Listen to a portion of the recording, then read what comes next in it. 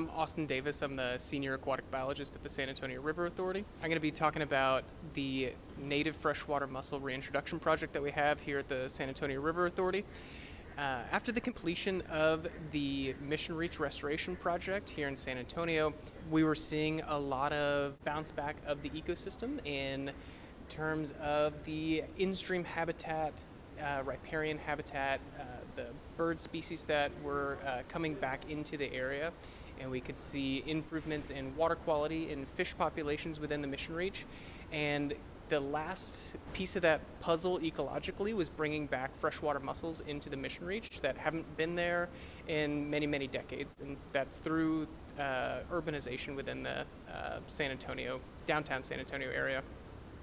And so, what this project seeks to do is to bring mussels back into the restored mission reach and we've decided on bringing four species of mussels back into the upper San Antonio River. Those are a yellow sandshell, pimpleback, pistol grip, and three ridge mussels.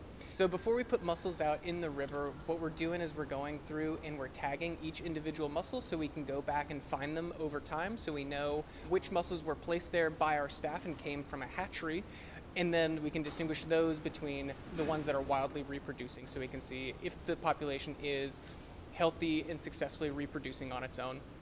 And so how we do that is we're putting a little etch marking on the exterior of the shell of the mussels. And we're also going through and putting what's called a pit tag on them so we can go back and rescan and we know that mussel 123 grew from 10 millimeters to 20 millimeters to 30 millimeters over time.